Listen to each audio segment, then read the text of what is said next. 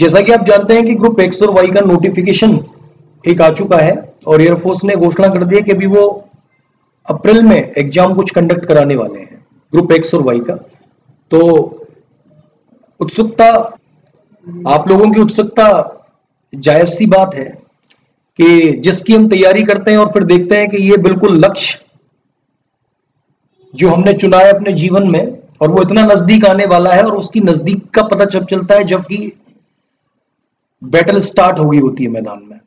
तो आप जानते हैं कि एक्स और वाई का जो एग्ज़ाम है, उसका बिल्कुल बिगुल बच चुका है। एयरफोर्स ने तो संखनाद कर दिया है नोटिफिकेशन के माध्यम से। बाद बाकी का आप कितना इसका आगाज़ करते हैं, ये आपकी प्रिपरेशन पर डिपेंड करता है। जैसा मैं शुरुआत से आपसे बोलता रहा हूँ कि एयरफोर्स में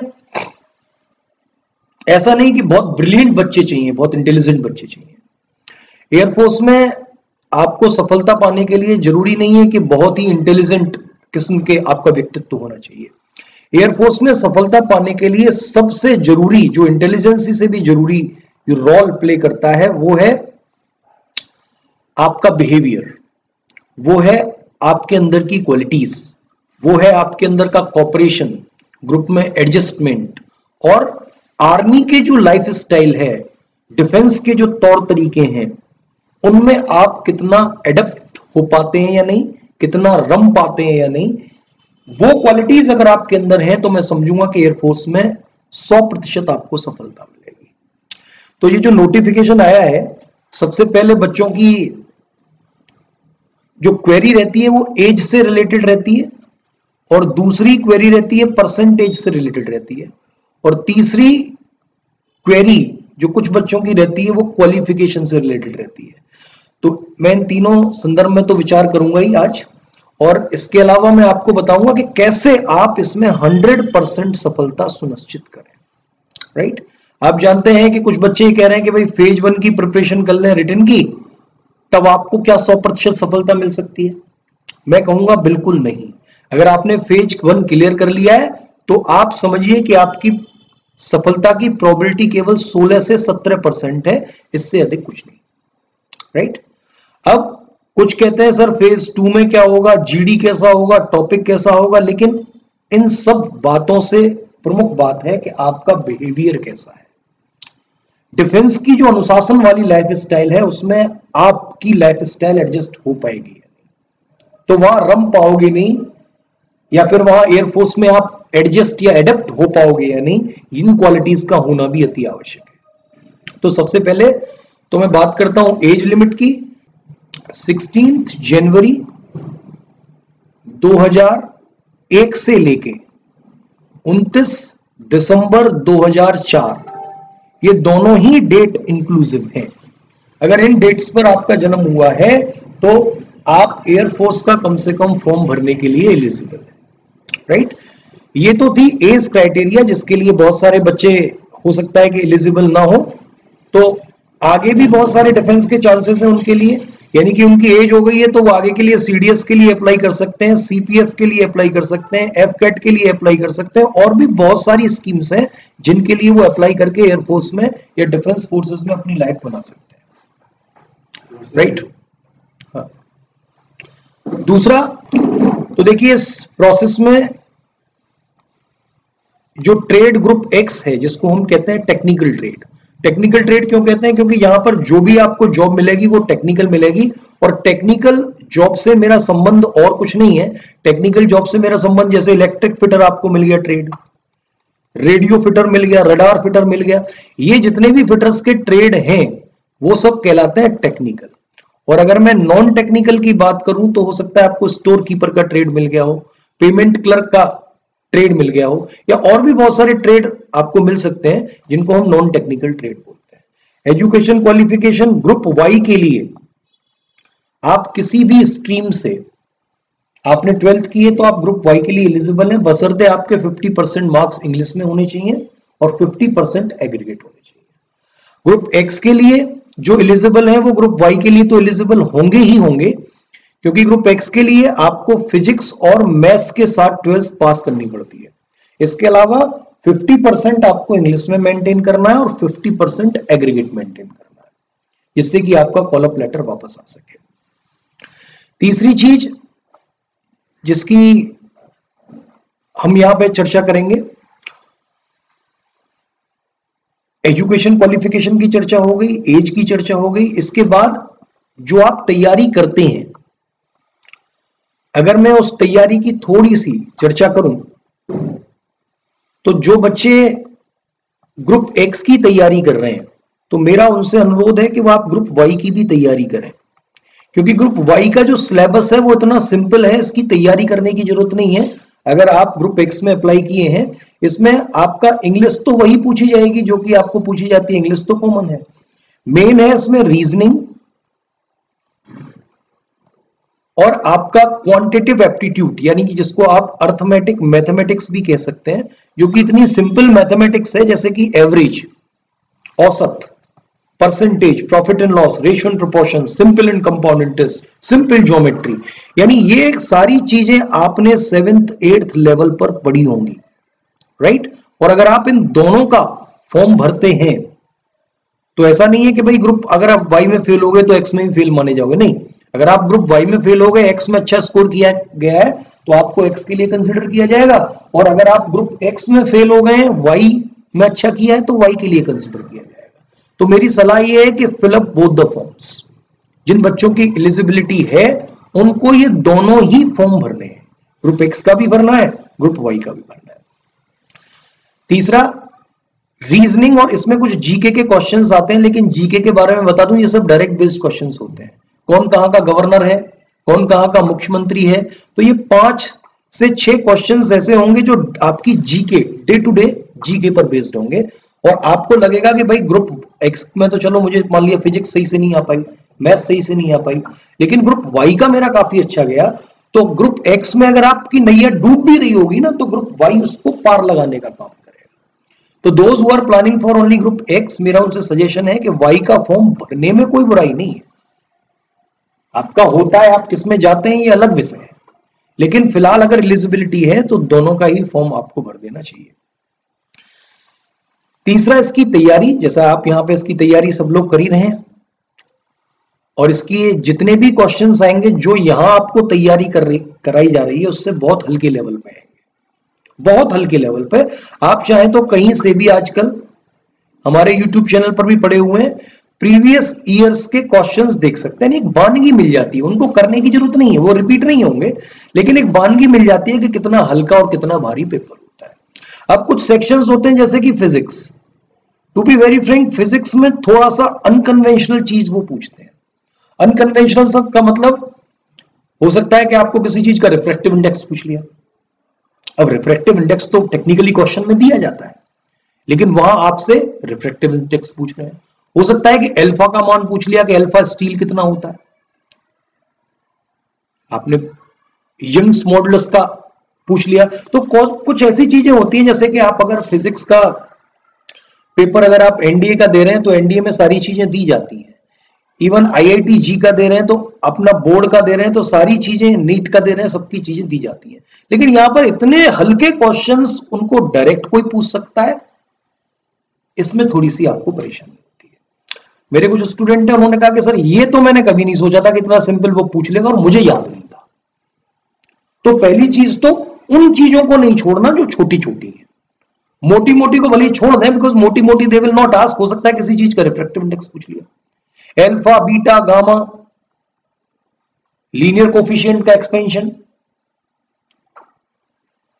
बल्ब का तो ये अल्फ़ा लीनियर का आपको पूछ लिया, मान लिया स्टील के लिए कितना होगा? अल्फ़ा स्टील पूछ लिया तो आपको अल्फ़ा स्टील नहीं पता है। ये पूछा जा चुका है। तो इनको आपको केवल याद कर लेने का है, केवल फिजिक्स में इतना है और इसके अलावा कुछ नहीं। बात बाकी का बहुत सिंपल आएगी और जहाँ आपको जो पढ़ाया जा रहा है, उससे बहुत लोअर लेवल का टेस्ट आपको पूछा जाएगा। लेकिन इस टेस्ट को मैंने जैसा आपको बताया कि आप एनडीसीए लर्निंग ऐप जिसकी लॉन्चिंग इस ट्वेंटी फिफ्थ ऑफ़ जनवरी को होगी। 2021 एनडीसीए लर्निंग ऐप से इन सारे वीडियोस आपको मिल जाएँगे। फिजिक्स के स्पेशली आईआईटी दिल्ली से जो लक्ष्मण गोस्वामी आपको पढ़ाते हैं, उनके सारे वीडियोस आपको इकट्ठा एक साथ वहाँ मिल जाएँगे। ऐसा नहीं है कि लाइव वो क्लास लेंगे। यानी जैसा बोर्ड पे पढ़ाता है टीचर उनकी हुबहू आपको प्रोफेशनल रिकॉर्डिंग में मिल और ये वीडियो मैं ये नहीं कहूँगा कि केवल एनडीए के लिए सफिशियंट या किसी एयरफोर्स के एग्ज़ाम के लिए सफिशियंट है।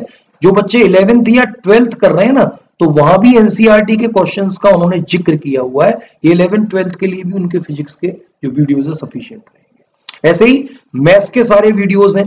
आपको अगर लगता है कि भाई मैथ्स में कोई कहीं कमी चल रही है तो आप क्या कर सकते हैं? आप मैथमेटिक्स के वीडियो वहाँ से देख सकते हैं। टिक्नोमेट्री मान लिया कोई चीज़ नहीं, समझ में आई, उसकी चौदह पंद्रह क्लासेस यहाँ भी पड़ी होंगी, जिसकी अभी हम लॉन्चिंग पच्चीस जनवरी से करेंगे।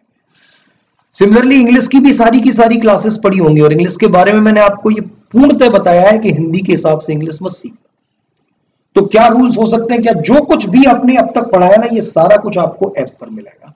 और इस ऐप के अलावा जो हमारा पोर्टल है, www.ndca.in पर जाते हैं और जब आप यहाँ पर जाकर रजिस्टर करते हैं, और आपको सबको असेस मिल गई होगी, जो भी बच्चे रजिस्टर्ड हैं यहाँ पर, वहाँ पे सारी की सारी क्लासेस पड़ी हुई हैं। और हम उनको अपडेट करेंगे, जैसे ऐप के साथ करेंगे तो उनको भी आप देखिए। वो सारी की सारी क्लासेस पड़ी हुई है। कोई टॉपिक नहीं समझ में आया, आपने वहाँ से देख लिया। क्वेश्चंस के लिए मैं हूँ डाउट्स के लिए मैं हूँ। बेसिक आप चाहें तो वहाँ से और कवर कर सकते हैं। अगर आपको एक ही टॉपिक पंद्रह क्लास में पढ़ना है तो वहाँ से पढ़ सकते हैं। लेकिन अगर आपको एक टॉपिक एक या दो दिन में पढ़ना है तो यहाँ पढ़िए। मेरी बात आपको समझ में आ रही है?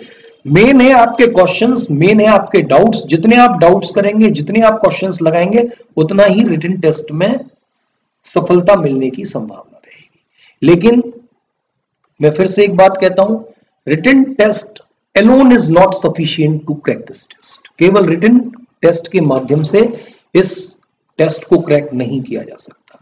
न तो एनडीए को किया जा सकता है और न ही एयरफोर्स के एक्स और वाई टेस्ट को पास किया जा सकता है। इसके लिए you have to be mentally और मेंटली में क्यों कह रहा हूँ? You have to be mentally strong आपको मानसिक रूप से बहुत ताकतवर होना पड़ेगा। फौज में जॉब करना इतना आसान नहीं है। अगर कोई फौजी हो तो उससे उसकी आत्मकथा पूछ लेना, वो बता देगा आपको कि कितनी प्रेशर में वो लोग जॉब करते हैं। सोना मिले, नहीं मिले, ड्यूटी सर्वोपरि रहती है। कंफर्ट जोन आपको आपका त्यागना पड़ेगा कंफर्ट नाम की वहाँ कोई चीज़ है ही नहीं। दैट्स वाई ऐसे you have to be have to be mentally strong for this test और मेंटली स्ट्रांग क्यों?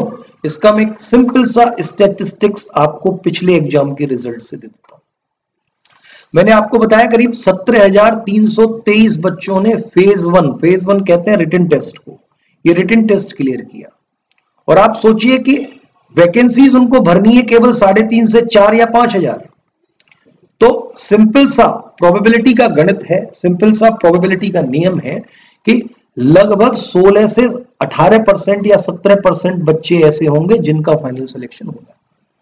राइट अब वो कहीं फ़िज़िकल में निकाले जाएँगे, कभी कदम ताल में निकाले जाएँगे, कहीं एडेप्टेबिलिटी टेस्ट वन और टू में निकाले जाएँगे अकॉर्डिंग टू योर बिहेवियर तो इसीलिए मैं पहले से ही कहता हूँ कि आप अपना बिहेवियर थोड़ा सा सुरक्षित रखिए, संयमित रखिए, जैसा अनुशासन में फौज वाले रहते हैं, वैसा अनुशासन में रहने की कोशिश करिए और जितने भी समसामयिक टॉपिक हैं, उन पर इंग्लिश में डिबेट सुनना स्टार्ट करिए, क्योंकि एयरफोर्स की लैंग्वेज जो है वो इंग्लिश है। और ध्यान रखना, ये एडेप्टेबिलिटी टेस्ट वन और टू जो है ना, वो प्योरली साइकोलॉजिकल बेस्ड टेस्ट है। इसकी टेस्ट की तैयारी कोई अंग्रेज़ी का टीचर नहीं करा सकता। टेक्निकली हम क्या समझ लेते हैं कि इसमें इंग्लिश पूछी जा रही है ग्रुप डिस्कशन होता है। आपको पता है, अंग्रेज़ी की जो टीचर पढ़ाते हैं, अंग्रेज़ी की जो कोचिंग चलती है, उसमें डिस्कशन नहीं चलता, उसमें डिबेट चलती है। आप अरेंज मैरिज के पक्ष में, आप लव मैरिज के पक्ष में लड़ो।